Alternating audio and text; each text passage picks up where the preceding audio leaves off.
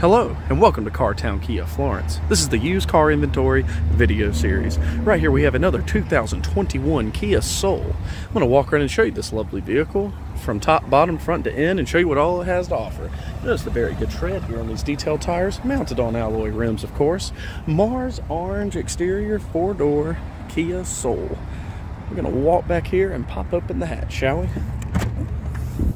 As you can see, plenty of secure cargo space. Spare tire you'll find underneath the mat. For additional storage, the back seats do fold down indeed. It is a 60-40 split. Coming to the back, you can see it's a black interior with a trim of gray cloth material. It seats three. Plenty of legroom for your passengers here. For additional leg space, the two front seats will slide forward. Coming to the driver's side door, it's got your power mirrors, power windows, and powered locks.